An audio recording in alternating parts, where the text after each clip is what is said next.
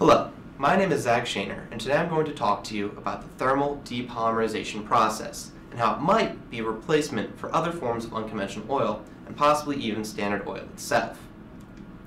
Now, I want to start by defining what exactly unconventional oil is, and it's quite simple really. It's any oil that doesn't come from your standard oil well. Examples of this include the oil sands we talked about in class, oil shale, and what I'm talking about, the thermal depolymerization process. Now, the unfortunate side of unconventional oil is that there's a couple problems you have to deal with. The most important of those being it's more difficult and more expensive to extract than standard oil. In addition, the quality of the fuel we receive from these sources is generally of a lower quality than that of standard oil. Moving on.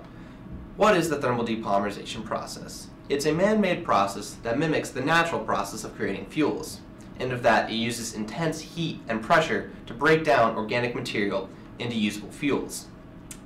The best part of this is that the thermal depolymerization process only takes a couple hours, whereas in nature it takes far too long to be of practical use to us. Now, research into this type of process had been going on for some time, but it wasn't until the 1980s when Paul Baskis created the first break-even version of this process, meaning the amount of energy he put into the process equal the amount of energy he gained in the fuel from the process. So, from that point, the Changing World Technologies took it and created the thermal conversion process, which is the official thermal depolymerization process that they created, and put it into practice at their plant in Carthage, Missouri. Now, on to the process itself. There are three main steps in thermal depolymerization. First, you prep the materials or organic input and by mixing it with water and grinding it into smaller pieces. From there, this mix is fed into the first thermal reactor, where the process heats it to about 250 degrees Celsius at a constant volume. The constant volume is important because as the water boils and turns into steam, it creates that intense pressure needed to break down the hydrocarbons.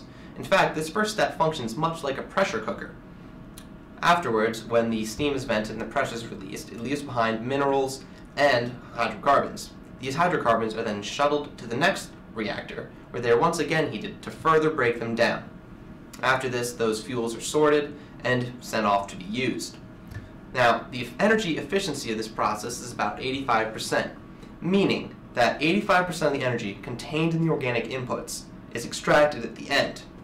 Now, the cool part is that other 15% that doesn't get extracted for use as fuels can actually be recycled and burned to help heat the reactors of the process, meaning this process helps self-fuel itself and is thereby more efficient.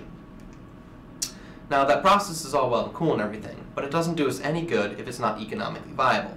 So let's take a look at the numbers. Now, in the, over the couple years that the Carthage plant was operating, the maximum profit they reported was about $4 per barrel of oil produced in, about, in 2005. Now, in 2005, oil cost on average about $60 per barrel. So they were producing thermal depolymerization light oil at about $56 per barrel. Unfortunately, this was with an Energy Policy Act credit, which isn't always guaranteed, meaning the prices aren't always guaranteed to be that low. And in fact, the price of thermal depolymerization oil can reach up to about $80 per barrel. Now, comparing that to oil sand pricing, Standard mining of oil sands costs about 70 to $85 per barrel of oil, whereas the SAG process can be anywhere from 50 to $80 per barrel. So looking at the range of prices, both process, both thermal depolymerization and the oil sands have the potential, have the potential to be fairly cheap, but they still can be both expensive.